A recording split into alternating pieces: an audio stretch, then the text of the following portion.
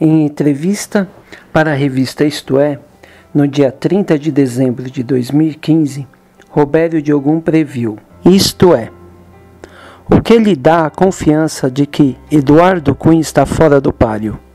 Robério Diogum respondeu: O presidente da Câmara errou muito.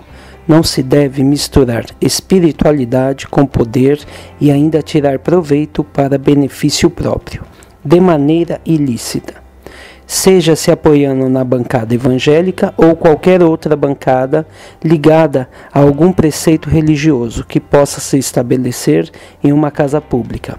Deus, lá em cima, deve estar morrendo de vergonha do que se está fazendo em nome dele.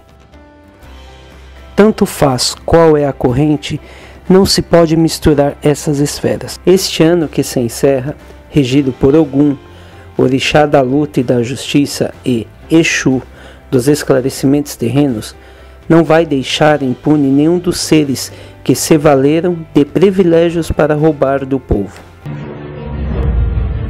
De imediato, vamos ao assunto que, pelo menos para o Brasil, para todos os brasileiros e brasileiras, é a notícia mais importante de hoje, que é essa, ó.